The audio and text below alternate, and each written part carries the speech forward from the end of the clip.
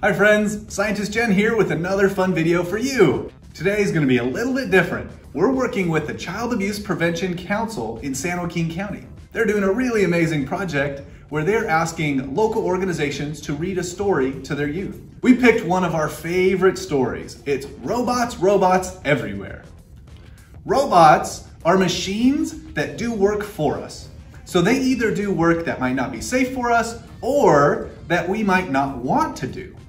All right, let's get into the book and start reading. Today, we are going to read Robots, Robots Everywhere. On the ground and in the air, robots, robots everywhere.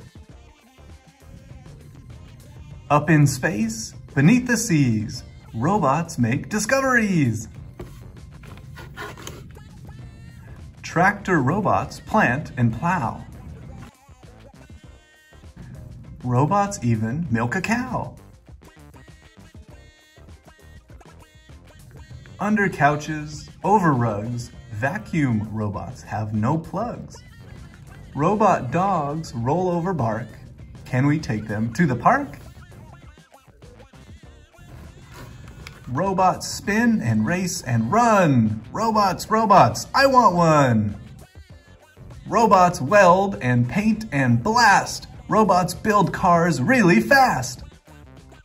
Working robots drill and grind. Rescue robots seek and find. Robots pump and load and lift. Mix and measure, sort and sift. Robots beep and robots talk. Wind them up and robots walk. Robots made like you and me.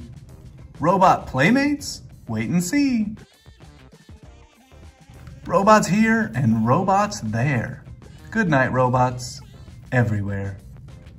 All right, friends, that was a really interesting book. Now, we have a STEAM activity for you. We want you to design your own robot, decide what type of work you want it to do for you, and then draw a picture and of course, name it.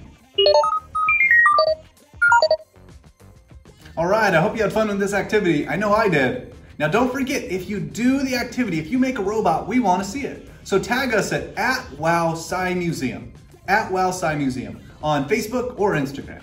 And of course, as always, like, comment, and especially subscribe to our channel.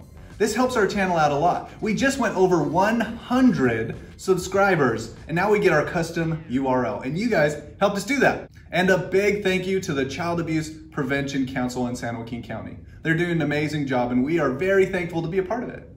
Until next time, friends, I'm Scientist Jen.